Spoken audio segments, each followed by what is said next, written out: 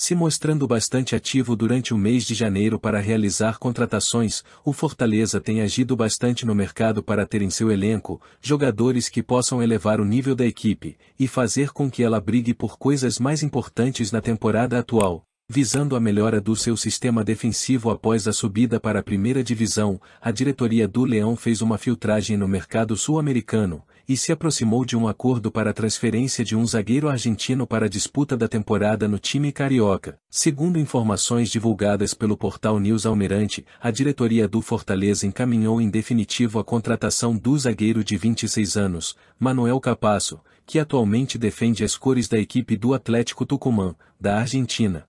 A negociação entre os clubes tem se estendido algumas semanas, mas entre Fortaleza e jogador já se havia um acordo, que agora está próximo de um final feliz.